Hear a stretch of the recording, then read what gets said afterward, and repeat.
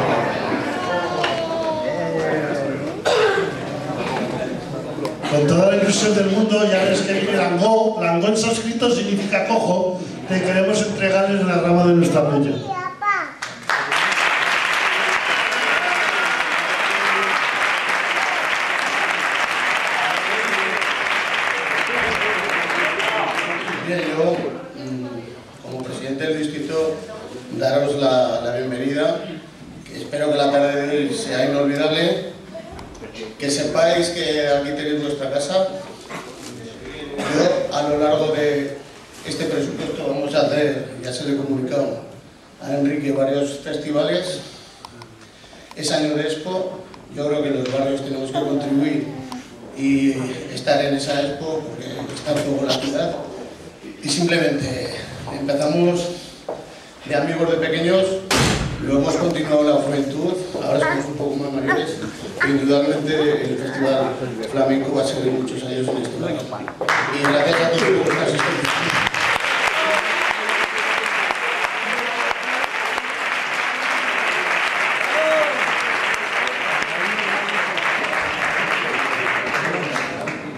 detrás del artista vienen otros. Rancapino, Alonso Núñez. Rancapino comenzó sus andaduras en el mundo del toreo junto a José Monje Camarón de la Isla, compadres, amigos, y ahora tenemos a, hace un tiempo eh, en La Peña, en el local de Rocío, la Galería del Tango, la Plaza de Sars, tuvimos la oportunidad de que viniera Alonso, a los hitos, a los amigos.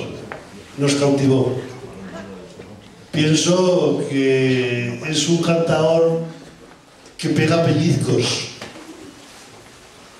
y viene acompañado de su cuñado, con Ramón Orillo, y, y un guitarrista de, excepcional que como os he dicho, como os he dicho, es Solino un canal de Juan José de Camarón de la Isla.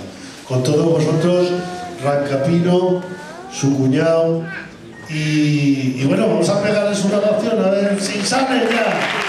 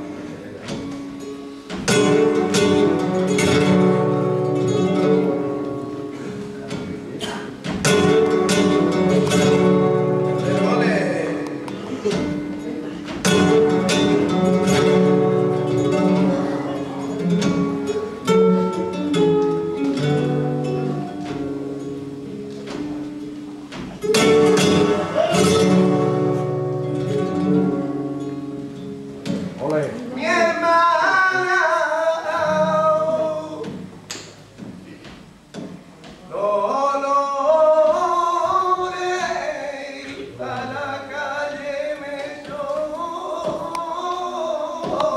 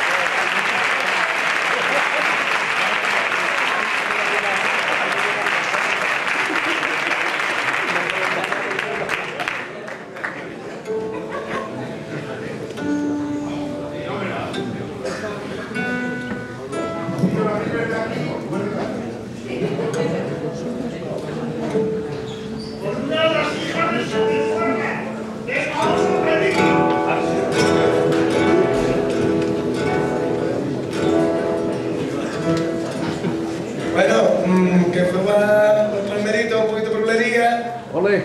Eh, y a percusión.